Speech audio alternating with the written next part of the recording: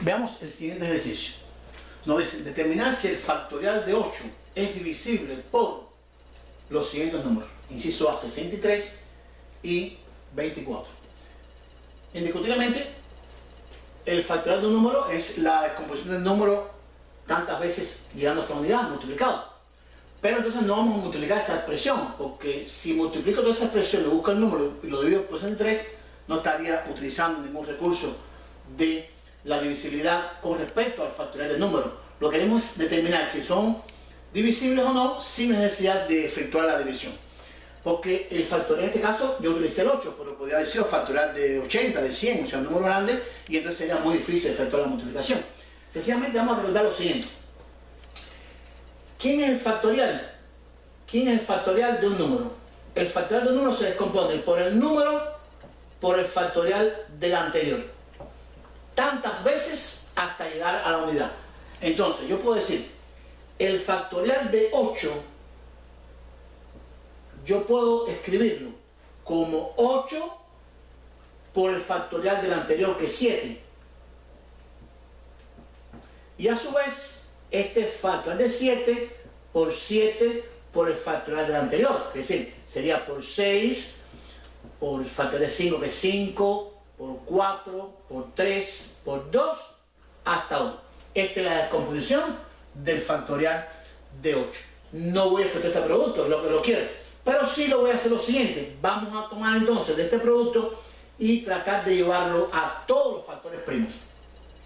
7 es un factor primo, 5 es un factor primo, 3, 2 son factores primos.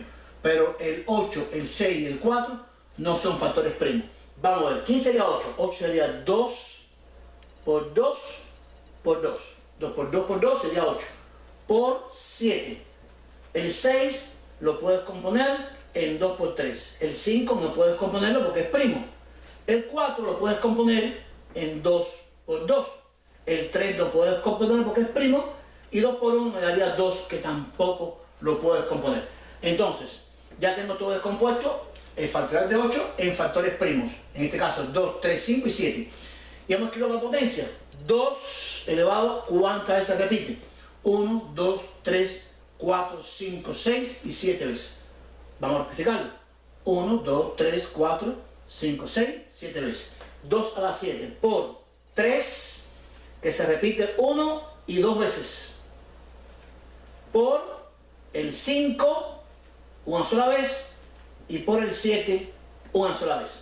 Ahí tendría entonces la descomposición en factores primos del factorial del número 8. Esto es lo que queremos, descomponer el número, en este caso el factorial, en el producto de sus potencias de bases primas no multiplicar y buscar a qué número corresponde, que se puede hacer, multiplicar toda esta expresión, daría un número bastante grande. Ya hemos descompuesto en factores primos, entonces el factorial de 8. De igual forma vamos a hacerlo con los valores a los cuales queremos ver si son divisibles o no por este número. Vamos a coger 63, vamos a hacerlo aquí, 63 y vamos a descomponerlo. Vamos al inciso A. 63, yo puedo escribirlo Vamos a dividirlo. 63 no es divisible por 2 porque no termina en cifra par. Pero la suma de 6 y 3 da 9, por lo tanto es divisible por 3. Y esta división daría 21. 21 vuelve a ser divisible por 3. Este cociente daría 7. 7 es un número primo y daría 1 cociente. Que 63 lo puedo escribir como 3 por 3 por 7. Escribo aquí. Inciso A 63 lo puedo escribir como 3 al cuadrado por 7. Vamos a hacer los dos para terminar con la descomposición. Va a 24. 24. ¿Cómo podría descomponer el 24? 24 en la descomposición de él podríamos escribirlo el 24 tiene mitad porque 24 termina en cifra par es divisible por 2, daría 12, 12 divisible por 2, daría 6, 6 divisible por 2, daría 3, 3 es divisible por 3 y daría 1. Puedo escribirlo como 2 por 2 por 2 por 3. puedo escribirlo como 2 a la 3 por 3. Ya entonces hemos escrito el 24 como 2 a la 3 por 3. Y vamos a ver, a ver si son o no divisibles en este caso estos números descompuestos en sus factores primos en potencia en el factorial del número 8 también descompuesto en potencia. ¿Qué debe cumplir? Para que el 63 sea divisible por el factorial de 8.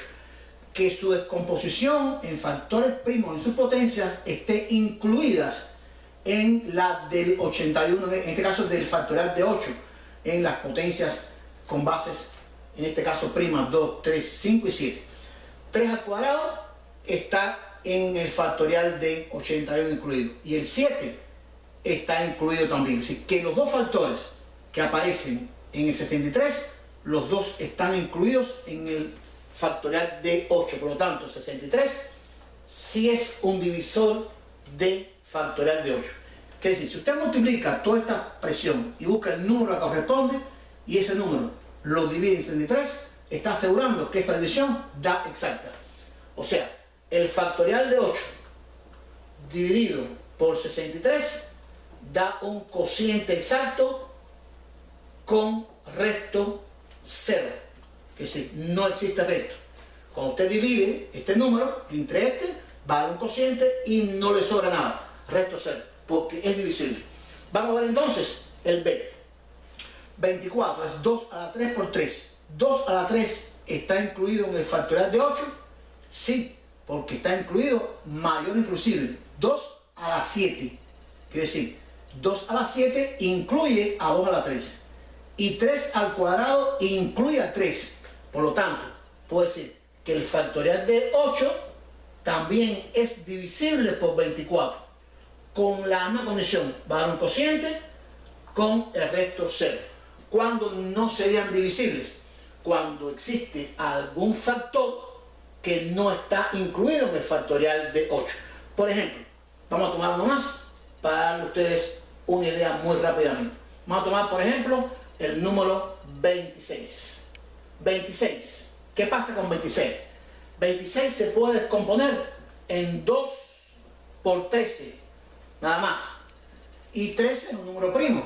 Ahora la pregunta es, la descomposición del 26 está incluida en la descomposición factorial con base prima del factorial de 8. Vamos, ¿el 2 está incluido? Sí, porque factorial de 8 tiene 2 a la 7, por lo tanto contiene 2. Ahora, factorial de 8 incluye a la base de potencia prima 13? No. Sí, 81, eh, disculpen, el factorial de 8 no tiene como factor primo al 13, por lo tanto, no va a dividir entonces al 26. Quiere decir con esto que el factorial de 8 entre 26 nos va a dar un cociente con un resto distinto de 0. Quiere decir, no va a ser exacta esa división. Esto lo queríamos llevarle en este ejercicio sobre factorial y divisibilidad de un número.